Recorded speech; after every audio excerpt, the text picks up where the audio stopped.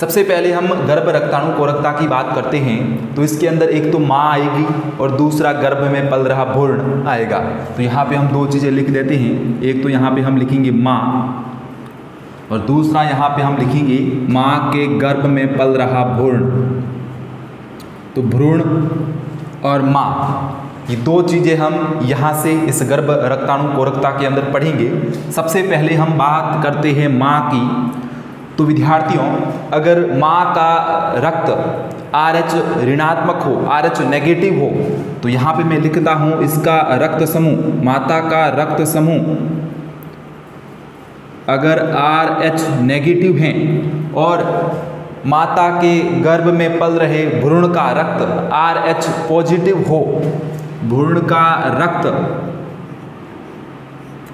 अगर are H positive हो तो क्या प्रभाव पड़ता है? तो यहाँ पे जब हम बात करते हैं माँ और भ्रूण की तो माँ के गर्भ में पल रहा भ्रूण, जिसका रक्त आर एच पॉजिटिव है। और माता का जो रक्त है, वो कैसा है विद्यार्थियों? आर एच नेगेटिव है।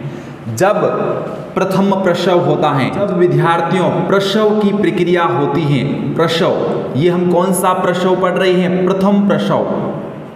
ये फ़र्स्ट केस है, विद्यार्थियों, ध्यान देना। प्रथम प्रसव प्रथम प्रसव का मतलब है, जब ये भ्रूण शिशु के रूप में जन्म लेगा, उस समय की अवस्था की बात कर रहे हैं हम। तो यहाँ पे ध्यान दीजिएगा, जब प्रथम प्रसव होता है, जब प्रसव की प्रक्रिया होती है तो प्रसव के समय भ्रूण का रक्त और माता का रक्त विद्यार्थियों मिल जाता है।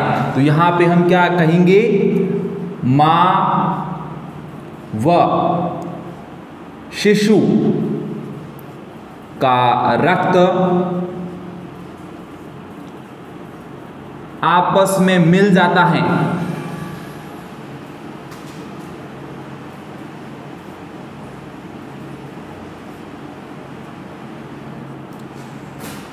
विद्यार्थियों, अब क्या होगा जब ये रक्त आपस में मिल जाएँगे?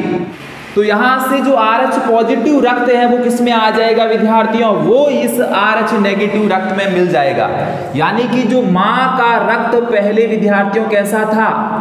माँ का रक्त पहले विद्यार्थियों आर एच नेगेटिव था, अब इसमें आर एच पॉजिटिव युक्त कुछ आर बी सी भी आ जाएगी। आर बी सी आ जाएगी, वो आर बी सी कैसी होगी? आर एच पॉजिटिव कारक युक्त होगी। आर एच कारक युक्त आर बी सी होगी, जो किसमें आ जाएगी विद्यार्थियों? माँ के रक्त में आ जाएगी। अब क्या होगा ध्यान देना? माँ के रक्त में जो ही आर एच कारक युक्त आरबीसी आती हैं तो उस आर एच कारक के खिलाफ माँ के अंदर एक प्रतिरक्षी का निर्माण होता है। प्रतिरक्षी का निर्माण होता है, जिसे हम कहते हैं विद्यार्थियों आई जी जी प्रतिरक्षी। आर एच कारक के विरुद्ध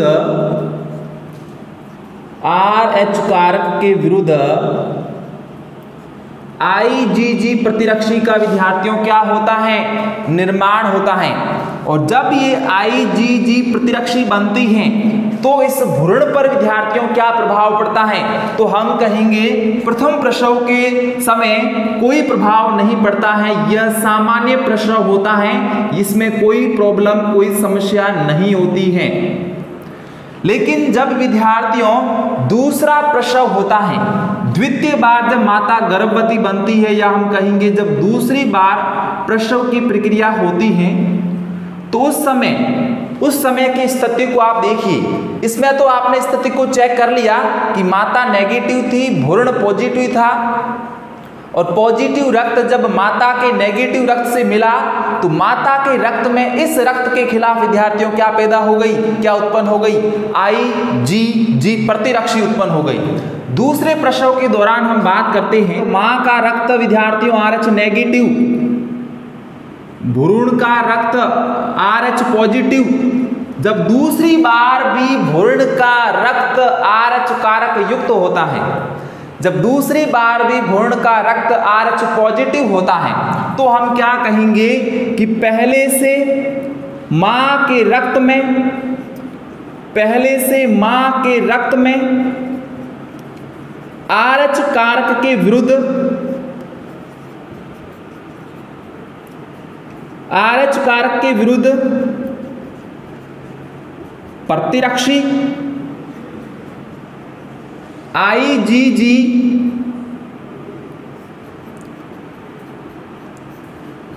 का निर्माण हो चुका था। विद्यार्थियों, कब हो चुका था? इधर देखें। जब प्रथम प्रसव की प्रक्रिया हुई थी तो जब माँ के रक्त में भ्रूण का रक्त मिला था तो इस आर एच पॉजिटिव रक्त के खिलाफ माँ के रक्त में आईजीजी प्रतिरक्षी का निर्माण हो गया था। किसके खिलाफ? इस आर एच कारक के खिलाफ। तो आर एच कारक के खिलाफ प्रतिरक्षी का निर्माण पहले से हो चुका है और ये प्रतिरक्षी क्या करेगी विद्यार्थियों? इस आर एच पॉजिटिव रक्त को नष्ट करेगी। किस प्रक्रिया के द्वारा? रुधिर लयनता के द्वारा।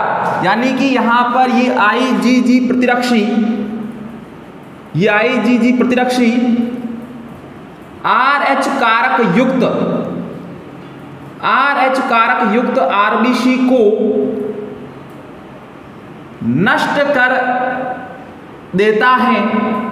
या हम यूँ कहेंगे कि आईजीजी प्रतिरक्षी आर एच पॉजिटिव रक्त को नष्ट कर देता है। या फिर यूँ कहेंगे कि रुधिर लयनता रुधिर लयनता की प्रक्रिया द्वारा की प्रक्रिया द्वारा आर एच कारक युक्त आर एच कारक युक्त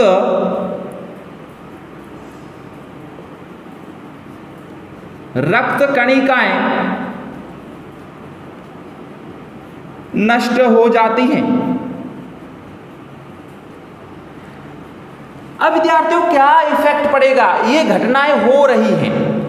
कब हो रही हैं? दूसरे प्रसव के समय हो रही हैं। जब इस प्रकार की घटनाएँ होती हैं तो भ्रूण की मृत्यु विद्यार्थियों कब हो जाती हैं? गर्भ में ही हो जाती है। भ्रूण की गर्भ में ही मृत्यु।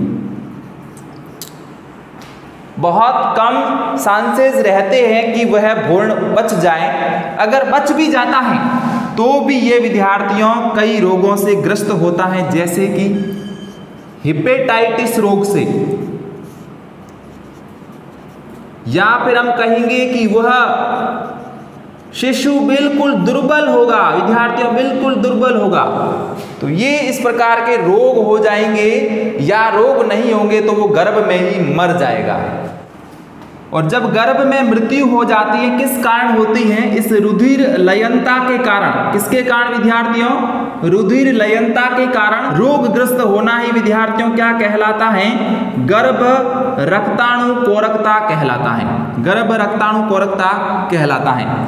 आगे हम बात करें कि इस समस्या का समाधान कैसे करें? इस समस्या का निदान कैसे करें? तो विद्यार्थियों, इस समस्या से छुटकारा पाने के लिए जब प्रथम प्रसव हो जाता है, जब प्रथम प्रसव हो जाता है तो प्रथम प्रसव के 24 घंटे के भीतर, प्रथम प्रसव के 24 घंटे के भीतर प्रति आई जी जी टीके देने चाहिए। प्रति आई जी जी टीका देना चाहिए, जिसे हम कहते हैं एंटी आर एच डी टीका अगर ये टीका माँ को दिया जाता है तो माँ के अंदर जो ये आई जी जी प्रतिरक्षी उत्पन्न हुई थी, ये प्रतिरक्षी विद्यार्थियों नष्ट हो जाएगी। जो आर एच कारक के विरुद्ध प्रतिरक्षी उत्पन्न हुई थी, वो प्रतिरक्षी नष्ट हो जाएगी। और जब दूसरी बार विद्यार्थियों भ्रूण का रक्त आर एच पॉजिटिव होगा तो पॉजिटिव रक्त को नष्ट करने के लिए ये प्रतिरक्षी माँ के शरीर में होगी ही नहीं। जब ये प्रतिरक्षी माँ के शरीर में होगी ही नहीं तो भूर्ण की रक्त कणिका आर एच पॉजिटिव है तो कोई दिक्कत, कोई समस्या नहीं आने वाली है। तो यहाँ पे हम ये कहेंगे कि 24 घंटे के भीतर प्रति आई जी जी टीका दिया जाता है या एंटी आर एच डी का टीका दिया जाता है तो कोई समस्या नहीं होती है। दूसरा प्रसव भी सामान्य हो जाएगा। दूसरा प्रसव भी विद्यार्थियों कैसा हो जाएगा? सामान्य हो जाएगा। इसके अतिरिक्त विद्यार्थियों, हम बात करें प्रति आई जी जी टीके की तो इसका एक और उपनाम है। इसको कहते हैं विद्यार्थियों रोहोगम टीका। इसका एक और नाम है, इसको हम कहते हैं रोहोगम टीका। इस प्रकार से विद्यार्थियों, हमने इस वीडियो के अंदर अच्छे से समझ लिया गर्भ, रक्तानुपूरकता को, और किसी समस्या से हम कैसे छुटकारा पा सकते हैं, इस समस्या का हम निदान कैसे कर सकते हैं, उसके बारे में हमने पढ़ा। अगर आपको ये वीडियो अच्छा लगा है, पसंद आया है तो लाइक करें, शेयर करें, चैनल को सब्सक्राइब करें, और बेल आइकन की घंटी को ज़रूर प्रेस कर दें। लगातार हमारे साथ जुड़े रहने के लिए आप सभी विद्यार्थियों का प्रेम पूर्वक बहुत बहुत धन्यवाद।